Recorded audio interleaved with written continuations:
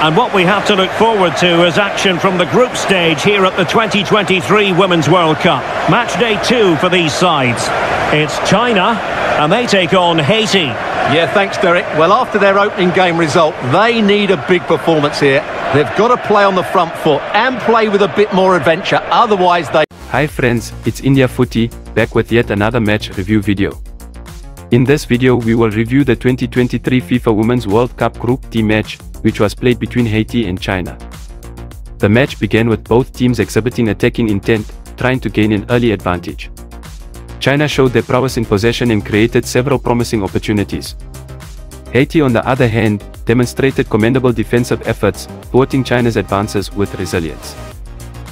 However, the turning point of the match came in the 29th minute when China's Zhang Rui received a red card from the referee after a mistime tackle. The challenge appeared to be reckless and dangerous, leading to her ejection from the match.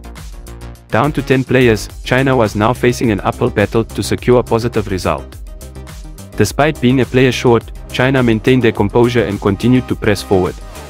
The second half saw Haiti capitalizing on their numerical advantage, creating numerous attacking opportunities. The Haitian team showcased remarkable resilience and skill, challenging the Chinese defense on multiple occasions. However, China's defense held strong until the 74th minute when a pivotal moment arose. A controversial handball incident in the penalty area awarded a spot kick to China. Wang Shuang, one of China's key players, stepped up to take the penalty and calmly slotted the ball into the back of the net, breaking the deadlock.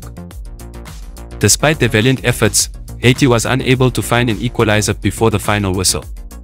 The match concluded with China securing a hard-fought victory, while Haiti showcased their potential and determination, even in the face of adversity.